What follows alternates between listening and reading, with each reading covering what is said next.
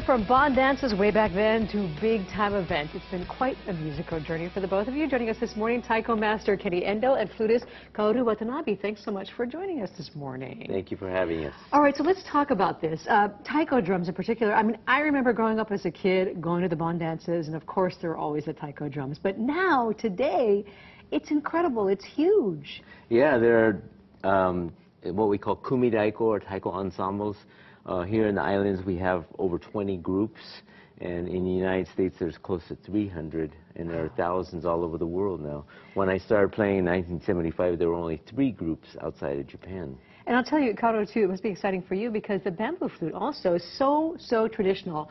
But what you're doing now, it's, it's it maintains that tradition, but it also feels more dynamic. This must be fun for you. It's amazing. This is a, it's a very simple instrument, but it's capable of a lot of different expressive techniques and sounds and tonalities. So it's so wonderful yeah. to see how all of this progresses. All right, so let's talk a little bit about the tradition. I mean, back in the day when you started, it wasn't this big, and it's not an easy profession to have by any means.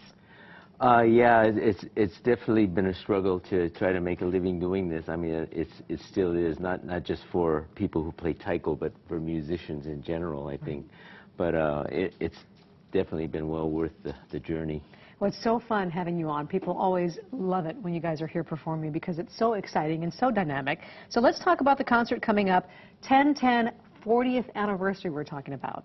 Yeah, this Saturday, and in fact, that's tomorrow night at the Hawaii Theater at uh, 7, 7 o'clock. We're going to be doing a concert of both traditional Japanese drumming and kumi daiko.